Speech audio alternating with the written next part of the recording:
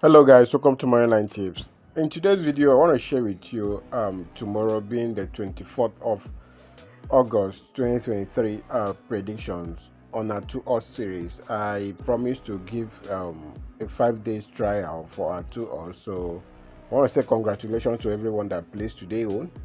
And this is uh tomorrow on being the being a thursday 24th of August 2023. So our first game we have today is in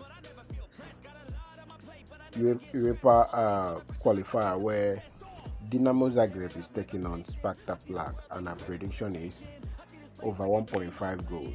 Then the second game we have on our list is in South America Cup where Quito is taking on Sao Paulo FC and our prediction is over 1.5 goals at full time.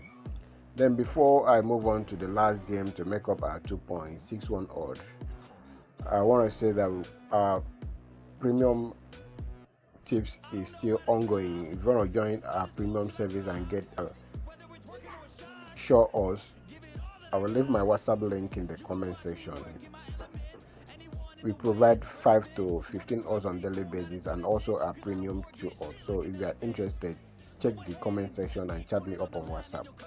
Okay uh moving on. The last game we have on our league is an israeli uh, cup where Ironi Tiberias is taking on Sektzia atlas ziona and our prediction is over 1.5 goals. So when you combine these three matches together you get a total of 2.61 odds.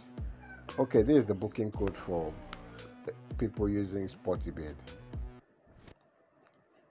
the booking code is 47 f97 726 all right guys uh, good luck and congratulations in advance